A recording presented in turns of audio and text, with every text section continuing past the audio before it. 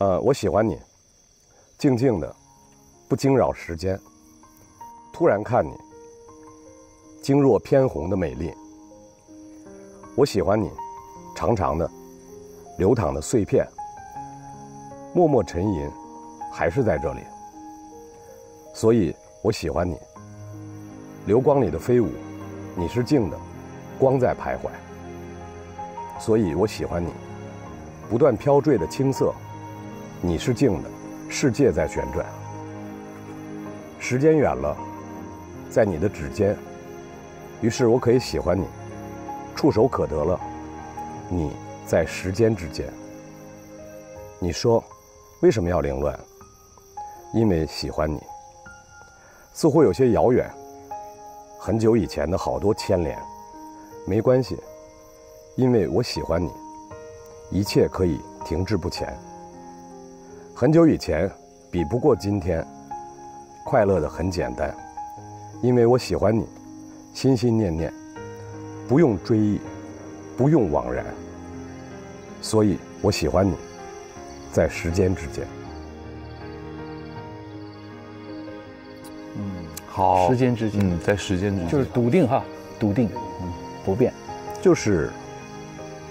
喜欢就要实现，尤其是当爱情变成婚姻了之后，就是要在时间之间去找、去找一切可能喜欢的理由。咱们上一期节目播出之后，因为那个牵徐一阳的手，然后引发了一些争议，然后我媳妇儿第一时间就给我发微信啊，然后把那篇帖子发给了我。然后发给我之后，就说了一句话，说：“不要仗着自己年龄大了，就不谨言慎行。”啊，还在，还在这个，我觉得说的特别好啊。所谓的携手前行，不是走过时间，是两个人都要进步，两个人都要彼此监督，两个人不要都要彼此督促，关键是互相了解，要互相了解，互相信任。对，对啊，他给你发的就是在百分之百的信任基础上的。但是也提醒了，也警钟长鸣了。今天我们这个主题叫做寻梦。寻梦啊，这个就爱情啊，就本质上它很像是人生做的一场梦嘛。只不过这个梦是可以在现实里继续编织的。汤显祖在这儿实现了他的理想国，对，实现了他在事业上、政治上的抱负，同时也在这儿开始做梦，开始酝酿起他在戏剧上他的一个一个梦，一个梦，一个也许他自己也未曾达到过的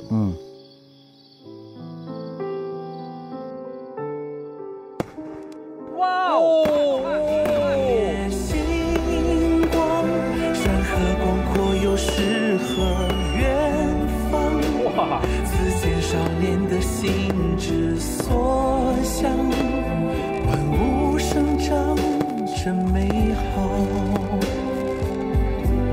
这一夜星光，故事的重量念念不忘，一字一句书写的美好，慢慢相遇在路上。